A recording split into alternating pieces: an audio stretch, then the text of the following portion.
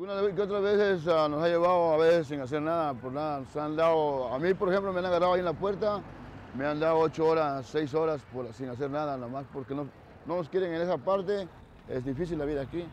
Fíjese dónde viene a morir toda esa gente que, que, han sacado de aquí. Yo, seis años que tengo aquí, he visto morir muchísima gente y no es justo que se nos pague así.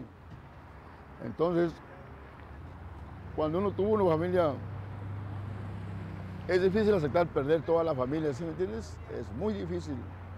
No cualquiera lo, aceptamos tan fácil porque toda una vida ya que hice con mi familia, siempre es duro pensar que ya perdí todo, ¿me entiendes? No, no lo aceptan, no lo puedo aceptar todavía. Llevo seis años aquí y de seis años no he podido todavía adaptarme al mundo que llevo aquí, ¿me entiendes? Cuando toda mi vida